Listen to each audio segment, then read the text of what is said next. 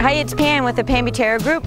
We love the DIYers, folks who like to take on those home improvements themselves and feel like they should have their own show on HGTV. But the American Society of Home Inspectors has three home improvement flubs that are causing major headaches during inspections.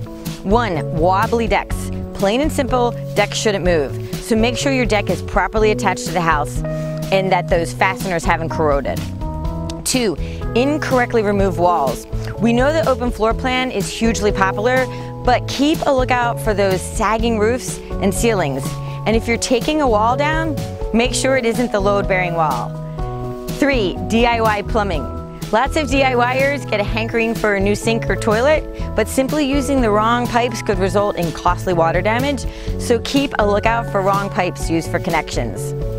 If you have a question for Ask Pam, just tweet us or email me, pam at pambutera.com, the Pam Butera Group, urban to suburban.